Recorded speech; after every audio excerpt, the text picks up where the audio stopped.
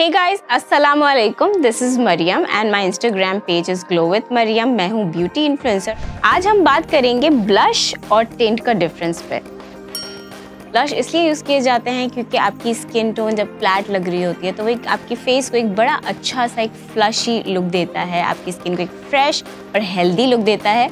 इसलिए blush use किए जाते हैं। टेंट हम तब यूज़ करते हैं जब हम डेली वेयर में easy go to stuff purse में रखना चाहते हैं और अपने फेस पे ईजीली लगा सकते हैं। उस तरह का ये प्रोडक्ट है।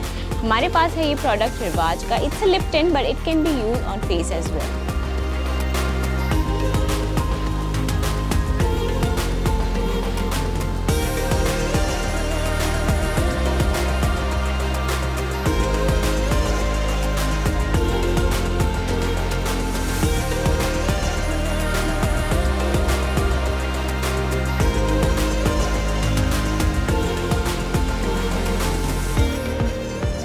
this is the product by फुकेलियर and इसमें हैं तीन प्रोडक्ट्स हमारे पास है हाइलाइटर हमारे पास है ब्रॉन्ज़र और हमारे पास है ब्लश तो ये तीनों आप एक कॉम्पैक्ट में आप यूज़ कर सकते हैं, आप इसको बैग में भी रख सकते हैं. इजी टू यूज़ इससे आपके फेस पे एक बड़ा अच्छा सा फ्लशी से लुक आ जाता है. पिंक कलर का ये पाउडर है हमारे पास. ब्लश का शेड काफ़ी प्यारा सा है तो हम इसको यूज़ करेंगे थोड़ा सा फ्लश देने के लिए.